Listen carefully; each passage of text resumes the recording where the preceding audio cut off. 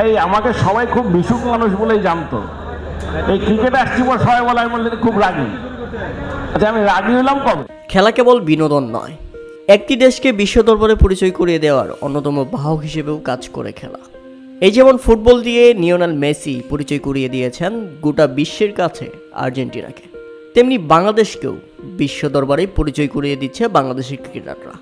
আর যে ধারাটা শুরু হয়েছিল মোহাম্মদ আশরাফুলের হাত দিয়ে আজ শনিবার বিশ মে, মিরপুর শের বাংলা জাতীয় ক্রিকেট স্টেডিয়ামের মিডিয়া স্টেজে ক্রিকেটার্স ওয়েলফেয়ার অ্যাসোসিয়েশন অব বাংলাদেশের বার্ষিক সভায় মোহাম্মদ আশরাফুলের বিষয়টি তুলে ধরে বিসিবি সভাপতি নাজমুল হোসেন পাপন জানালেন, আমি যখন লন্ডনে কিংবা অন্যান্য দেশে প্রেজেন্টেশন শুরু করি, তখন বাংলাদেশকে অনেকেই চিনত না। তবে আশরাফুল, দ্য ইয়াং সেঞ্চুরিয়ান, তাকে সবাই চিনে ফেলত। বাইরের মানুষ বাংলাদেশকে মূলত আশরাফুলকে দিয়েই চিনে থাকে। এবার সেটি খুদ মুখেই স্বীকার করে নিলেন বিসিবি সভাপতি। তিনি বললেন, ওই প্রেজেন্টেশনে আশরাফুলের একটি ছবি ছিল। ও যে ইয়াং সেঞ্চুরিয়ান, সেটি সবাই জানতো।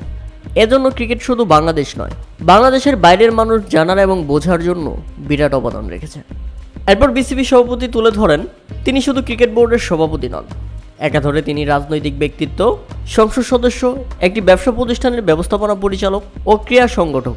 তিনি কীভাবে এত দায়িত্ব সামলান? এই প্রশ্নের জবাবে তিনি বলেন সব কিছু সামলে নিতে পারেন, কিন্তু ক্রিকেটে এত সময়, এত ব্যস্ততার কারণে পরিবারকে সময় পর্যন্ত দিতে পারেন না। যেটা তার একটা আক্ষেপ। তবুও বাংলাদেশের ক্রিকেট ভালো করুক, এমনটাই চান তিনি। এরপর তিনি জানালেন, আমাকে সবাই খুব মিশুক মানুষ বলে জানতো। ক্রিকেটে এসেছি বলে সবাই এখন ভাবে আমি রাগী। আচ্ছা আমি রাগী হইলাম কবে?